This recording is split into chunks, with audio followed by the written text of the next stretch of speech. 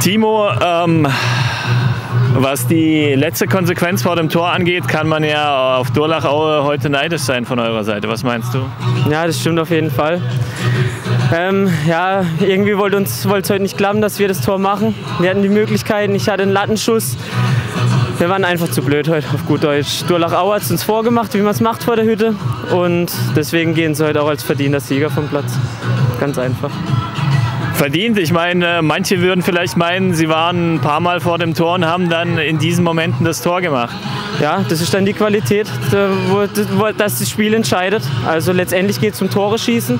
Wir haben sie nicht gemacht, äh, beziehungsweise eins, es war dann zu spät, zu wenig und das müssen wir uns ankreiden lassen. Und äh, wenn sie die Tore machen, ist dann auch letztendlich verdient. Und abgesehen von den Toren, wie hast du das Spiel gesehen? Ja, wie habe ich es gesehen? Es war, glaube ich, kein berauschendes Spiel. Ähm, wir wollten unbedingt eigentlich das Spiel gewinnen, weil für uns geht es eigentlich um alles. Wir wollen nicht in die Relegation kommen.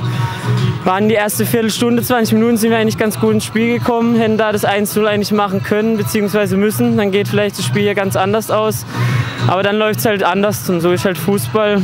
Und letztendlich verlieren wir das Spiel. Das ist sehr, sehr bitter für uns. Jetzt heißt es aufrabbeln, am Mittwoch gegen Lauder gewinnen und gucken, dass wir irgendwie das heute begleichen.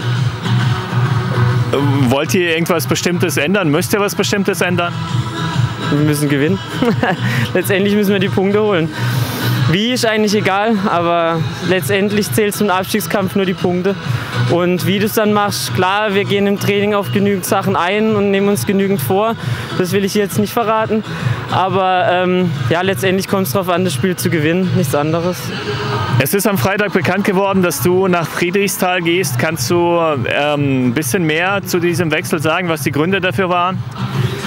Ja, Gründe. Ich war jetzt drei Jahre in Reichenbach. Ähm, zuerst will ich sagen, dass Reichenbach mir im Futsal auch einiges ermöglicht hat. Da geht auch ein Dank an den ganzen Verein, speziell an Günter Vogel. Ich gehe ähm, mit gutem Herzen von Reichenbach, nicht im Streit oder sonst was. Das hat andere Gründe.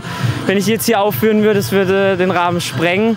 Ähm, der Trainer in Friedrichsthal, Andreas Augenstein, mit dem habe ich ein gutes Verhältnis auf gut Deutsch und ähm, er hat sich lange um mich bemüht. Und letztendlich habe ich mich dann für den Wechsel entschieden, hat aber nichts zu heißen, dass ich äh, aus dem Streit aus Reichenbach rausgehe. Ähm, ganz im Gegenteil. Und ich will natürlich nicht mit dem Abstieg hier weggehen. Das ist das Letzte, was ich will. Ich will nächstes Jahr in der Verbandsliga gegen Reichenbach spielen. Wie ähm, wurde jetzt die Botschaft oder die Nachricht aufgefasst, dass du ähm, gehst? Ja, ich habe das am Donnerstag äh, vor versammelter Mannschaft gesagt. Letztendlich bin ich auch Co-Trainer in Reichenbach. Ähm, ich, hab, ich wollte es bewusst vorher der Mannschaft sagen, bevor es in der Presse steht. Am Freitag stand es in der Zeitung drin. Ich habe meine Beweggründe gesagt, offen und ehrlich, und habe dann auch dem, meiner Mannschaftskameraden gesagt, wer genauer wissen will, warum ich den Verein wechsle, kann auf mich zukommen und dem werde ich das dann auch äh, persönlich erläutern. Und ähm, ja, was meinst du, wirkt sich das jetzt irgendwie auf ähm, die Stimmung aus oder auf die Spielweise? Ich hoffe es mal nicht. Also ganz im Gegenteil. Ich habe gesagt, ich will die letzten sechs Spiele für Reichenbach. Ich hoffe mal die letzten sechs Spiele, vielleicht werden es noch zwei Relegationsspiele, äh, mir den Arsch aufreißen. Ich, ich weiß, wie es ist, abzusteigen. Ich bin mal mit Spielberg abgestiegen. Das ist das Dümmste, was es gibt. Und ich will sicherlich nicht mit einem Abstieg hier weggehen. Und dann versuche ich noch alles in die Waagschale zu werfen. Heute hat es leider nicht geklappt, aber Mittwoch gilt es wieder ähm, zwei Tage Pause und dann müssen wir lauter gucken zu gewinnen. Und ich versuche alles, um Reichenbach in der Verbandsliga zu halten. Mit der Mannschaft natürlich zusammen. Ein anderes Thema, Futsal. Da hat sich ja bei dir so einiges bewegt in letzter Zeit. Du bist vor kurzem in den inneren 16er Kader, ähm, im inneren 16er Kader angekommen in der Nationalmannschaft. Ja, kannst du sagen, was da alles passiert und äh, was da auch in Deutschland in Sachen Futsal passiert? Ja, auf mich persönlich bezogen passiert da ziemlich viel. Ja, ich äh, habe jetzt ein bisschen öffentliche, öffentliches Interesse an meiner Person. Ähm, ich habe es jetzt in den 16er Kader geschafft, in die Nationalmannschaft, war dann auch im zweiten Spiel in Georgien bei dem Lehrgang vor zwei Wochen auch Kapitän. Klar, ähm, das ist, erfüllt mich mit Stolz. Das ist so mein zweites Standbein, was ich da aufgebaut habe neben dem Fußball.